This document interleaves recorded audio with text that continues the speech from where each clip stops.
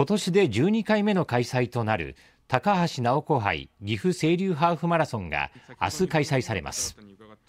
今大会にはオリンピックで3つの金メダルを獲得したティルネシュ・ディババ選手などが特別招待選手として出場する予定です。